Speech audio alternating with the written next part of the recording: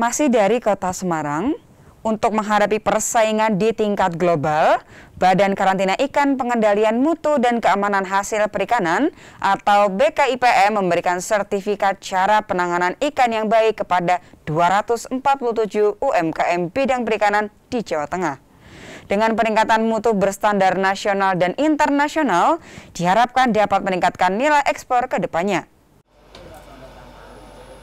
Sebanyak 247 sertifikat cara pengolahan ikan yang baik diberikan oleh Badan Karantina Ikan Pengendalian Mutu dan Keamanan hasil perikanan BKIPM Pusat kepada pelaku UMKM bidang perikanan di Jawa Tengah.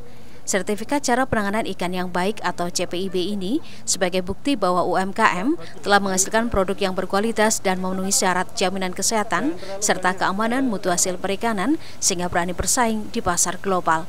Kepala BKIPM Pusat Hari Mariadi menegaskan, pangsa pasar ekspor perikanan terbuka luas sehingga penjaminan mutu mutlak dipenuhi mulai dari budidaya hingga pengolahan ikan sebelum diekspor.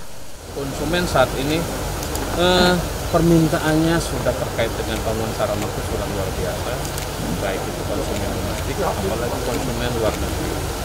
Eropa, Amerika, Jepang, ini cukup tinggi khususnya untuk yang udang. Udang masih sangat terbuka peluang untuk bisa ekspor.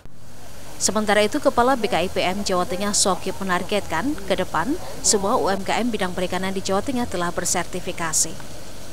Data ekspor di Jawa Tengah nilai ekspor tahun 2021 mencapai 4,2 triliun, di mana produk unggulan paling banyak diminati pasar luar negeri adalah rajungan, surimi, cumi-cumi, dan ikan layur.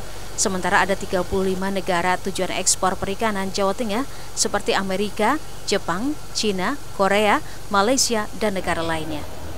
Senat Puji, Kompas TV, Semarang, Jawa Tengah.